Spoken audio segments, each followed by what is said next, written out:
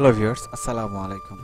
Online ফিস delivery পক্ষ থেকে আপনাদের সকলকে জানাই আন্তরিক শুভেচ্ছা এবং অভিনন্দন। প্রিয় মাছ চাষি ভাইরা আজকে আমি আপনার সাথে কথা বলব আধুনিক পদ্ধতিতে তারাবাই মাছ চাষ পদ্ধতি নিয়ে বিস্তারিত হবে চলো না দেরি না করে আমরা চলে যাই আমাদের মূল আলোচনায়।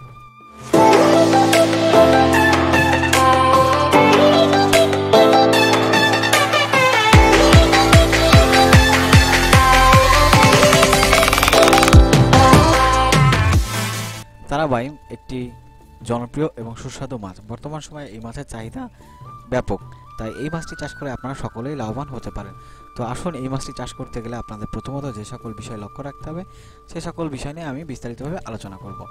প্রথমত পুকুর প্রস্তুতিকরণ। সেক্ষেত্রে আলো বাতাস পর্যাপ্ত পরিমাণে আছে, এরূপ স্থানে পুকুর নির্বাচন করতে হবে। পুকুর হতে হবে কাদামুক্ত।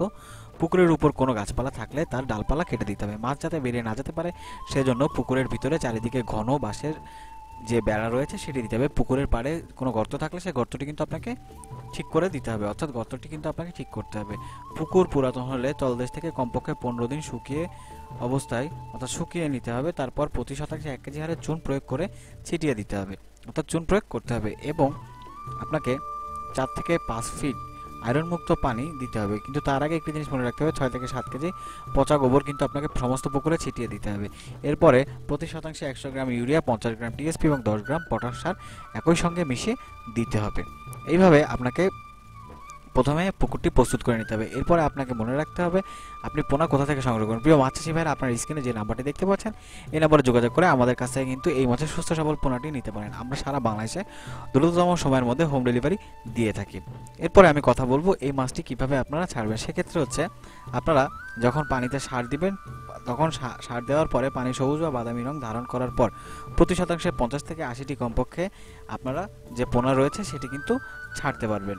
এবং এবার কথা বলব আপনাকে খাব- খাবার সম্পর্কে।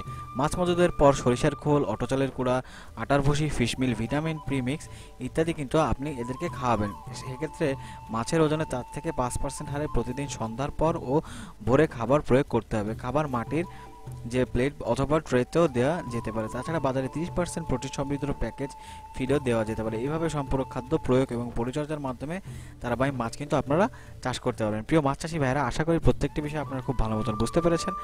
যদি তারপরে কোনো বিষয়ে আপনাদের বুঝতে সমস্যা হয়, সেক্ষেত্রে কিন্তু আপনারা আমাদেরকে সরাসরি কমেন্টস করে জানাতে পারেন এবং আমাদেরকে সরাসরি আপনারা কিন্তু ফোনে কথা বলে আমাদের কাছ থেকে পরামর্শ নিতে পারেন।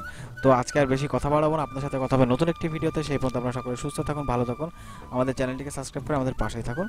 ধন্যবাদ।